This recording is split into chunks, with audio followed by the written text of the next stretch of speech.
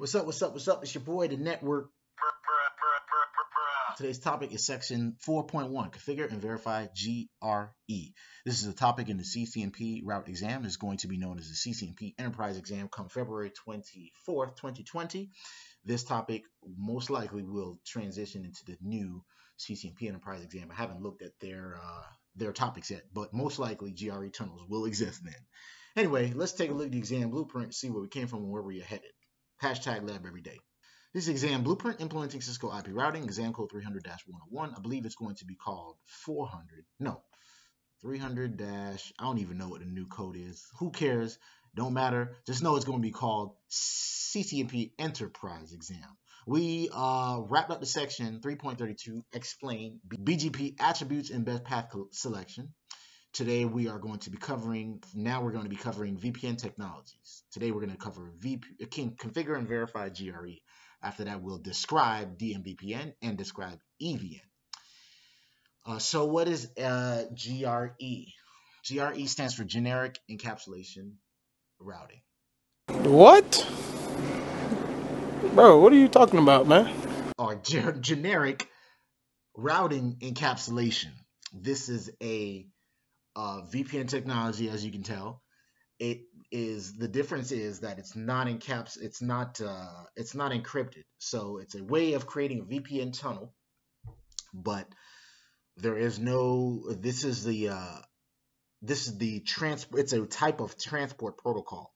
Let's take a look at the exam blueprint, uh, or not the exam blueprint, but the uh, yeah, pardon me, I drank a little bit of wine. But anyways, take a look at the um, the slides for the official definition. Okay, so here is the uh, official definition. GRE is a generic routing encapsulation. It's a tunneling protocol developed by Cisco Systems that can encapsulate encapsulate a wide variety of network layer protocols inside virtual point-to-point -point links or point-to-multipoint links over an internet protocol network. So as you can see right here, we got router one on the left-hand side, router two on the right-hand side.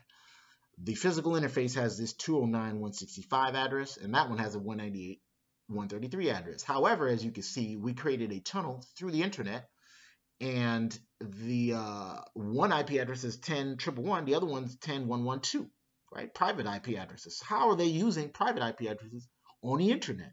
Well, they've done that using the tunnel. They just, uh, they're physically connected using these serial cables. However, we created a GRE tunnel so that way uh, nobody can listen in on our traffic. However, it is not encrypted again. It is GRE is not encrypted. That's why I need to. I've said that multiple times in this video so far, but I need to reiterate this. Now let's take a look at some of these fun facts about GRE. It's a tunneling protocol that supports many different layer 3 protocols. It is the default encapsulation for IOS tunnels. So that's great. It's easy to set up. I'll show y'all on Boson NetSim after we fire it up, show you the configuration and everything. GRE adds a 20 byte IP header and a 4 byte GRE header to encapsulate the existing packet. Notice it says encapsulate, not encrypt. It does not encrypt, it encapsulates, right? So we got basically 24 bytes of header that we tacked on to the IP, uh, the IP uh, packet. However, remember in the MSS video, I did this like maybe a couple months back.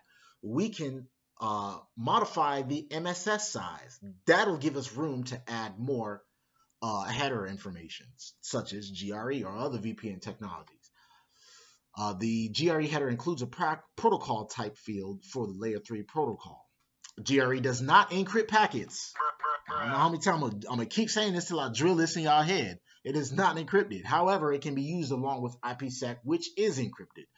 The GRE configuration is fairly simple. I don't even know why I added this last bullet point, but uh, I'll show y'all how to set it up using, again, Boson NetSim. Here's an example right here. You do interface tunnel. You give it a number, one, two, three, four, five, whatever. You do the IP address. This is what I used to get confused with. You put the IP address of the, um, like say the private IP address here, right? The source and destination will be, if I remember correctly, the, you use the physical interface. The physical interface is IP address for source and destination. And then on the, uh, this IP address right here, that will be the private. So this will be the private information.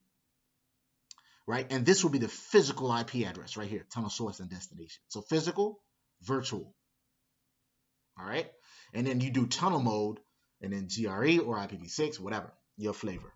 I believe that's supposed to say IPsec, isn't it? I don't know. We'll do we'll question mark to see what, what tunnel modes we can do. Let's go ahead and uh, actually here's some VR uh, verification commands that we could do. We'll run these when we launch Boson NetSim as well so that way we can see, uh, uh, we can verify our work basically. So we're going to go ahead and fire up Boson NetSim and take a look at GRE tunnels. All right, here are the labs. Standalone tunnels, GRE tunnels. Uh, we've got, here's the topology right here. We got PC1 that's going to travel across the internet to go to PC3. However, we're going to create a GRE tunnel between routers 1 and router 3. So we're not necessarily bypassing, we're using router 2 as the physical connection, but we're going to create a virtual connection between our 1 and router 3. That's where the virtual the uh, GRE tunnel will be, as you can see right here at this topology. Here's some basic IP address, I mean some uh, basic uh, commands here for the tunneling information, some show commands as well. Here's the IP addressing guide. Task 1 says we need to create a verified GRE tunnel from PC1, so PC1, attempt to ping PC3, which is over here, the IP address 101030.100. Remember, this is going to be the triple 10.0 network, and this is going to be the 101030 network. Does the ping succeed? Why or why not? Most likely it won't succeed, but let's see. Ping 10.10.30.100. And as you can see, that ping failed. Why not? Because uh, we haven't created the tunnel. We don't have no routing information, nothing.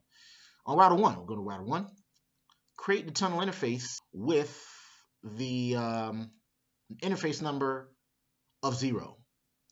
So we're going to say, we're going to go to global, conf I mean, uh, we're going to go to private privileged exec mode. Let's take a look at our interfaces first. Show IP interface brief. And as you can see here, we got some serial interfaces. We got a fast ethernet and a loopback, right? Now, we go to global config mode and we say interface tunnel zero. And you can see we got a tunnel that changed uh, changed the state to down, right? If we do a show IP interface brief again, and you can see now we have tunnel 10, I mean tunnel 0, uh, unassigned IP address, and but it's up down, right? What do you notice about the state of router 1's tunnel interface? As we said, it's up down. On router 3, go to router 3. On router 3, create the tunnel interface of interface number 0. So we go to router 3, enable, global config mode, interface tunnel zero. That one up down as well. On router one, assign the IP address of 192.168.0.1. So that's what we said, right? Well, with this right here, the IP address will be like the kind of like the virtual IP. So virtual IP address, this will be the physical IP address, right? And I'll explain that again when we go back to the IP addressing. So now we're doing this part right here, but we're, we're just creating kind of like a virtual IP address, uh, like an arbitrary IP address. Most of the time, it's a private IP address. So IP address, in this case, they wanted us to do 192.168.0.1 slash 20 slash 30.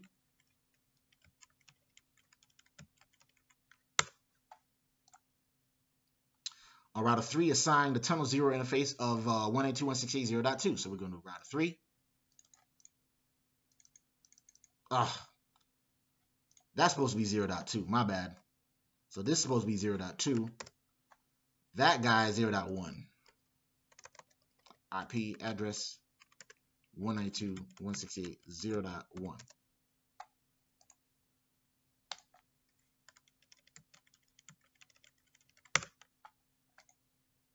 On router 1, display the IP addressing and status, status information about every interface on the router. What do you see about, what do you notice about the new tunnel interface? We did that already, didn't we? Do show IP interface brief. And as you can see, it's up down. Okay, so on router 1, attempt to ping router 3's tunnel 0 interface, 192.168.0.2. Do ping 192.168.0.2. Does the ping succeed? Why or why not? It does not succeed, 0 out of 5. It does not because we do not have a route there still to that network, right? Do let's do show IP route. No, that's not why. Well, that's part of the reason why, but that's not the reason why. Um, we haven't declared a source and destination yet. So it does not really know how to get there and where to come from, really. Configure the tunnel zero interface with a source IP address of the interface that is directly connected to router two. What's the directly connected router two? We'll see. So router one, this is the interface we're talking about. That's the one that's connected to router two. What interface is that? Look at the topology right here. You see it's 000. What's that IP address? Router 1 says 00 is 198.51.100.1. So the source and destination are the physical IP addresses. I always mix those up. So source and destination are the physical. Source and destination are the physical. So we're going to say do show, so we, we, we have it beside us, show IP interface brief. And then we're going to say source or tunnel source is 198.51.100.1 and on router 1 configure the destination of the interface on router 3 that's connected to router 2 so that interface right there without going to without going to check I'll, I'll tell you right now that's 000 we just need to know what IP address that 000 is right so we go to that router show IP interface brief you'll see 000, that's the IP address. So that's going to be our destination from here to here. Right? So from here to here, that's the destination IP address. So let's go here. And it was the same thing, tunnel destination, but is a dot six, a 198.51.100.6. And now, as you noticed, the tunnel state went to up. So now if we do a show IP interface brief, you can see that tunnel interface is now up, up, right? Based on tunnel zero source and destination on router one, what IP addresses should router three's tunnel zero interface use as source destination addresses? Same thing, but just the opposite, right? So we use this, these same IP addressing right here that we use for source and destination, but just the opposite. So we go to router three and say, this is his source and dot one is the destination, right? So we're gonna go back to tunnel zero and notice tunnel zero is up down on router three. Configure terminal interface tunnel zero. Tunnel source is 198.1.51100 dot six. Destination 198.51.100 dot seven. I mean dot one and now tunnel zero is up. We'll do a show IP interface brief again to verify that. You'll see it's up, up, right? On router three, configure tunnel zero with the source destination recorder. We just did that. On router three, attempt to ping router one's tunnel zero interface 192.168.0.1. So we're gonna ping 192.168.0.1 and it, it succeeded, five out of five. Router 3, display detailed information about tunnel 0 interface. What difference do you notice in the output when compared to the output for a physical interface? So let's take a look at physical interface. So uh, let's do an interface serial 00, which is this guy right here, the interface that's right there, right? And you'll see hardware is HD65 64570. This is what we it normally looks like with a physical interface, right? we're kind of familiar with that. But now if we do a show interface tunnel zero, you can see that hardware is tunnel, right? Encapsulation tunnel. We've also got tunnel. Uh, tunnel and source and destination information right here. So if we want to verify that, we do show interface and then tunnel and whatever. The tunnel protocol and transport is GRE and IP. We got the time to live as 255. We got the tunnel transmit and receive bandwidth information. A lot of information about a tunnel. So that's the difference there. From PC1, attempt to ping PC3. Does the ping succeed? So we're going to do the same thing we did at the very beginning of this uh, lab. And as you can see, it still didn't work. It still doesn't work. Why why not? Uh, because we don't have a static route. And as you can see, task 2 says we need to configure a static route. So in this task, you'll configure a static route on router 1 and router 3 so that the LANs, so these guys right here, that are connected to those routers can communicate. So those routers can communicate, but they the local area networks don't have routes to those locations. So examine the topology. What based on what you know about tunneling, what devices are you most likely required to configure the static route? Here and here, most likely, right? So on router 3, create the static route to the 1010.0 network through the tunnel, right? This is the difference. We're doing it through the tunnel. So we're going to say IP, not the physical interface, right? right? We're not doing a static route from here to here. We're doing a static route from here to here and back, right? So global config mode, IP routes, and he said he wants a route to the triple 10.0 network slash 24, 10, 10, 10.0 slash 24. Use the next hop of 192.168.0 dot. It was tunnel 0 on the other guy, which is 0.2. Yeah, 0.2. That's his next hop. On router 1, hold up. I made a mistake. That was supposed to be done on router 3. Let's do let's get rid of that. Let's do that. On router 3, it was supposed to be that static route. So on router 3, we create a static route to the triple 10.0 network. So IP, we're to global config mode, IP routes 10.10.10.0, 255.255.255.0. Uh, take the next hop 192.168.0.1, I believe it was. Yeah, 0.1. That's going to be the next hop. And then we do the same thing. We're going to say IP route, but this is to the 10, 10, 30 network, right? right? On router 1 to the 10, we need a, a static route to the 10, 10, 30 network, right? And his next hop is 0 dot, 0 dot 2. That's correct. I put a no there. That's not supposed to be no. Just IP routes there that should work. So we created static routes. On router 1, attempt to ping 1010 30.100. Router 1, ping 1010 30.100. So router 1 is pinging the PC. And as you can see, success rate is 100%. That was correct. Did the ping succeed? Why or why not? It, it, it works because we have a static route now. On router 3, attempt to ping router 1's fast Ethernet 00 interface. Does the ping succeed now? So he is going to ping that local area network interface right there. Triple 10.1. He said, does the ping succeed now? We didn't try to do it in the first place. So what is he talking about? 10.10.10.1. And it does work. On router 3, display the IP routing table, show IP route. Through which interface can router 3 reach the 1010.0 network? So the 1010.0 network is actually right here, right in this area, the local area network behind router 1. And to get there, it says to take, it's a static route, one uh, it's a, uh, the, the, uh, the AD is one, the static is zero, the, the uh, the metric is zero. It says to take it, take the next hop of 192.168.0.1, which is the interface that's on the tunnel.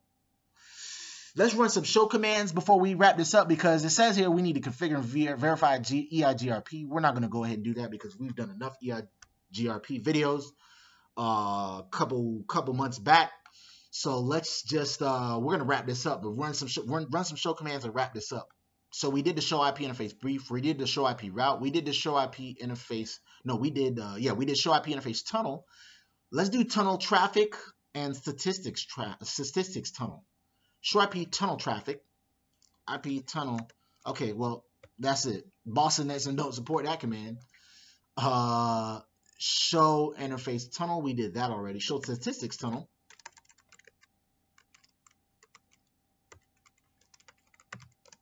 And Boson NetSim doesn't respond. See, this is why we need to be doing stuff like this on, on, on GNS3, not on these uh, these simulators here. That is my YouTube channel. That is my Twitter handle. Please go ahead and add me. Hit the notification bell after you subscribe, of course, to know when these videos are coming out. I have not been. I've been slacking lately. Uh, I had some issues with my OBS software and I've been tied up with this BGP. It's been rap. It's just been having my head in, in circles.